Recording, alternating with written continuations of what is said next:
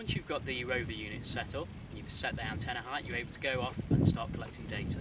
So the Nomad units use TerraSync as their software. Now this is the same software that we've got on the Junos at King's College. You'll be able to use the Juno and the Nomad user guides that have been prepared in order to gain more information on how you can use the software. Now with the units you can collect points, lines or polygon features and a feature that we'll also look at in a moment is collecting between feature points. So here on the Ti's al Ghadah site, which is uh, an archaeological and paleontological site, we've been using this to record archaeological finds such as stone tools or fossils. So here's one, as you can see, is cemented into this area here.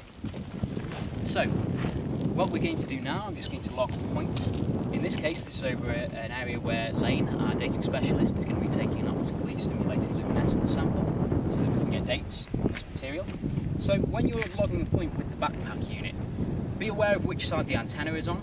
So the antenna will roughly be in position, be in line with the back of your heel on that side. So you can then locate the point that you're actually taking a location over. And in the data menu, you can select whether you want it to be a point, a line, or a polygon. So we're just going to select a point here, and you just tell it to start logging. You can then fill in a name while it starts to log. So I'm just going to give this a, a name which corresponds with the, the current uh, sample that we're taking, the OSL sample. And when you're taking a point, you can take several points, so you can hear this logging positions in the background, and that'll allow us to get a more accurate point. So I'm just going to allow this to log for say 20 positions. I press OK, and that point has now been stored with those 20 positions, and when we come to post-process this in Pathfinder Office, the software will refine the final position based on an average of those 20 positions. Now, another feature as well as lines and polygons, which are very similar and you can see from the user guide how to use those, which is very useful, is if you have defined in the, um, in the settings, in the logging settings, to have between feature positions enabled, then you can record features as you walk based on either distance or time. So in this case I've got it set to record a point every metre. And this can allow you to walk a transect, say you wish to record your route, it will allow you to do that and record positions along the route you could get an elevation profile, or in this case we're systematically walking the, the entire basin along space transects to get elevation readings along those transects which we're then using as the basis for an elevation grid in later GIS analyses. So I'm just going to start to record this exposed feature here by walking along.